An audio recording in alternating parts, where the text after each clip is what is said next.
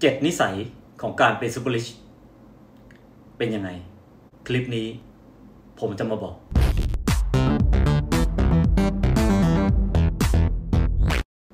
เชื่อไหมครับว่า อุปนิสัยที่เราเป็นอยู่นี้ เป็นส่วนหนึ่งของความสำเร็จ และก็รวมไปจนถึงความมั่งคั่งร่ำรวยด้วยนะครับ วันนี้เรามาดูกันว่า นิสัยของ super rich นั้นนะเขาเป็นอย่างไรบ้าง ตามผมมา ข้อหนึ่งซูเปอร์ริชเขาจะตั้งเป้าหมายทุกครั้ง ไม่ว่าจะทำอะไร เป้าหมายของเขาจะมีไว้ในแผนทุกๆ ครั้ง พวกเขาจะไม่ไปขอให้สิ่งศักดิ์สิทธิ์ที่ไหนช่วย แต่พวกเขาเนะ่ะจะลงมือทำด้วยมือของเขาเอง และทำจนสำเร็จ Wow. เป็นไง ข้อแรกก็เข้มละ 2. ซูเปอร์ริชจะมีแผนในแต่ละวันว่าต้องทำอะไรบ้าง ใช่แล้วครับ ในแต่ละวันซูเปอร์ริชเขาจะวางแผน ไว้เรียบร้อยแล้ว และต้องทำให้สำเร็จอย่างที่ตั้งใจไว้ Okay. อืม ข้อนี้เยี่ยมมาก ข้อ 3 นิสัยของพวกเขาจะไม่ชอบดูทีวี หรือถ้าจะดูก็ดูน้อยมากๆ อ้าว หลายคนสงสัย แล้วเวลาว่างๆเขาเอาเวลาไปทำอะไรล่ะ พวกเขาจะเอาเวลาไปจัดการสิ่งต่างๆ ในชีวิตของเขาไงครับ หรือถ้าไม่มีอะไรทำจริง ๆ พวกเขาก็หยิบหนังสือมาอ่าน หาความรู้เพิ่มเติม เพื่อพัฒนาตัวเองไงครับ ดีจริง ๆ การอ่าน ข้อที่ 4 ข้อนี้ต่อจากข้อที่ 3 นะครับ พวกเขารักการอ่านเอามาก ๆ เลย ข้อนี้เป็นผลการวิจัยอ้างอิงได้นะครับว่าซูเปอร์ริช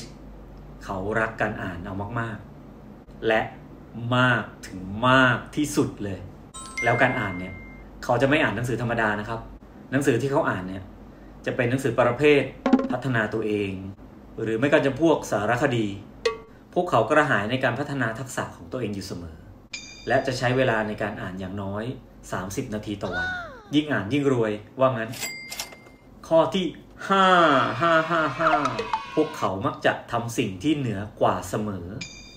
เอ๊ะยังไง ก็คือเวลาที่เขาจะทำอะไรบางอย่าง เขามักจะทำมากกว่าคนปกติก็ทำกันไง อย่างเช่นว่า เขาจะทำมากกว่าหน้าที่ของตัวเอง หรือจะทำงานอย่างน้อยสัปดาห์ละ 50 ชั่วโมงเลยนะ Wow. หรืออาจจะมากกว่านั้นก็ได้ เขาบอกว่าเขามีความสุขสุดๆ ที่ได้ทำในสิ่งที่รัก ต่อไปข้อที่ 6 เขาใส่ใจเรื่องรอบเอว ยังไงซูเปอร์ริชเขาใส่ใจอย่างมาก และจะต้องทำให้ตัวเองดูดีเสมอ ไม่ปล่อยให้ตัวเองดูโทรมหรืออ้วนนะครับ เขาจะให้ความสำคัญในเรื่องการดูแลสุขภาพ เป็นอันดับต้นๆเลย เพราะสุขภาพที่ดี จะนำพาเขาไปสู่ความสำเร็จยังไงครับ บางคนน่ะเขาจะใช้เวลาในการออกกำลังกาย 45 นาทีต่อวันเลยนะครับงั้นวันนี้ไปออกกำลังกายกันครับ Okay. ข้อที่ 7 เขาจะมีรอยยิ้มบนใบหน้าเสมอ ยิ้มหน่อยครับ โอเค รอยยิ้มเป็นสิ่งสำคัญ เพราะเวลาที่เขาเจออุปสรรคหรือปัญหา เขาจะยิ้มสู้และแก้ไขมันครับ แล้วทุกอย่างก็ไปได้สวยสำเร็จ ชัวร์ยิ้มสู้ fighting ไม่ยากเลยใช่ไหมครับ การเป็น super rich เนี่ย ลองเอาไปปรับใช้กันดูนะครับ แค่ทำอย่างสม่ำเสมอทำจนเป็นนิสัย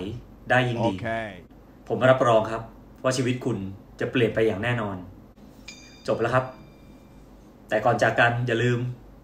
กด subscribe และกระดิ่งแจ้งเตือนไว้นะครับ ผมจะมีข้อคิดดีๆ ความรู้ดีๆ แล้วก็อย่าลืมหนังสือเสียงของผมนะครับ ผมลงคลิปทุกวันครับ อยากฟังเรื่องไหน แจ้งมาได้นะครับ ผมจะมาเสิร์ฟให้ทุกวันครับ สวัสดีครับ